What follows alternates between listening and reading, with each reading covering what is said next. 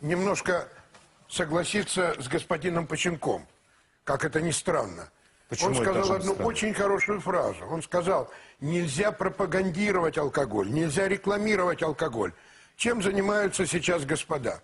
Они пропагандируют и рекламируют алкоголь. Ну, подождите, вы Вот хотите если сказать, бы что- я... что если- Андрей Максимов Вот рекламирует раз. алкоголь? Вот Вы минутку. уже сказали, что у меня бизнес от алкоголя. Это, у меня У бизнес вас нету бизнеса, я Вы Сказали, знаю. что заметно по этим людям. Я вот тоже здесь сижу. Нет, нет. Я тоже, это, это вы так сказали. Я вот тут сидел, вот. Я эти самые люди. Я не пропагандирую алкоголь.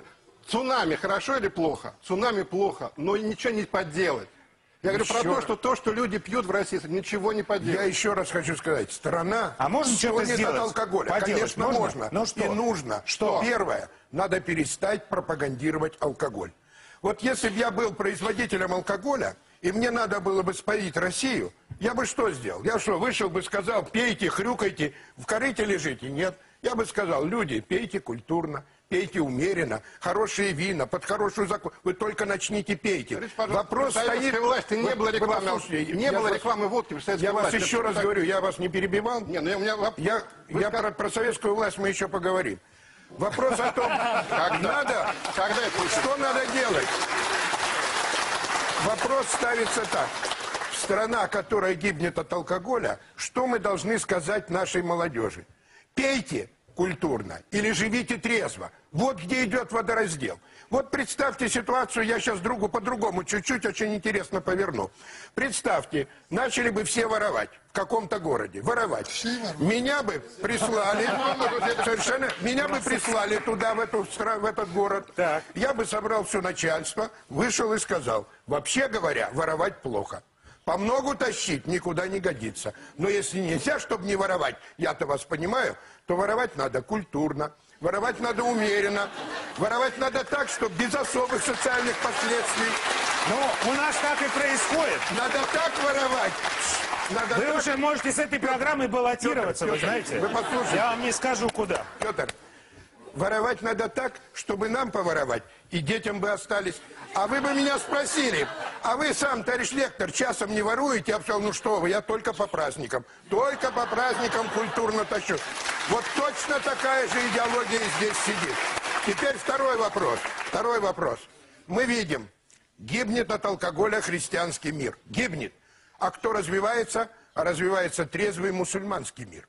И у нас в России, в пьяной Ярославской области смертность 21 на тысячу, а в трезвой Чечне 3,8 на тысячу. То есть смертность в Чечне в 7 раз меньше. Что мы должны сказать детям в Ярославской области на этой передаче? Дети, пейте или дети, живите трезво? Если мы начнем опять мямлить, дети, пейте культурно, дети, пи-» так дети и пойдут пить культурно. Они возьмут, вот товарищ говорит, из бутылки. Он завтра он стакан нальет. Он же понял, что надо пить культурно. Я согласен с писателями. Все пьяницы и алкоголики начинали с того, что начинали пить культурно. Ни один алкоголик ведь не родился алкоголиком. Все начинали пить культурно, потом умеренно, оно, а потом не культурно. И второй вопрос, я договорю, сейчас сяду. Ну И последний момент, я чувствую, видите, как этот бес, без, без, так сказать, алкогольный сидит. Я хочу сказать, вот показали прекрасные ролики, прекрасные ролики по Первому каналу. Вы знаете, резонанс потрясающий. Мне идут тысячи звонков со всех сторон. Владимир Георгиевич, это же такой прорыв, это же такая победа. И вот победа действительно победа. Вы смотрите, настал кризис, и все алкопроизводители считали, что народ в кризис запьет.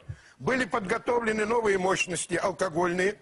И вот статистика. Госростат говорит, в феврале 2009 года по сравнению с февралем 2008 года продажа водки сократилась на 21%, продажа вина на 18%, продажа шампанского на 10%. Давайте похлопаем. Вот это результат.